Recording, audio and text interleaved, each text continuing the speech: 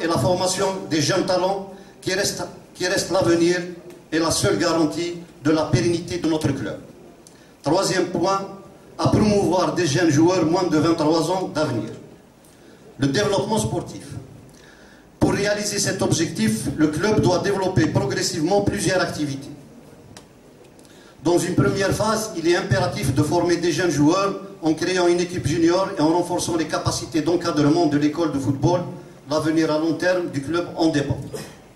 Deuxième point, mener des actions auprès des jeunes dans les écoles et les quartiers difficiles afin de faire découvrir notre club et transmettre les valeurs qui lui sont propres. Troisième point, organiser des, partenariats avec d'autres clubs, que ce soit national ou international. C'est organiser des matchs de gala. La question et l'organisation, la sous-estimation des facteurs humains est la cause de nombreux échecs.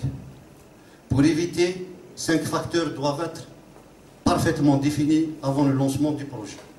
La mise en place de la structure, la prise de décision, les relations hiérarchiques entre les différents acteurs du projet, la définition des rôles et des responsabilités, la bonne définition et gestion, la communication et l'échange d'informations, donc une bonne définition et gestion de